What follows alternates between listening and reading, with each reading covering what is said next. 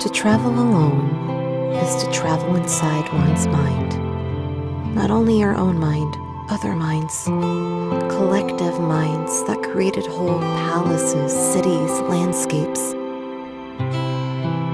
Traveling around this otherworldly valley, I finally understand. I've made things up. We were just different people at a different moment of our lives.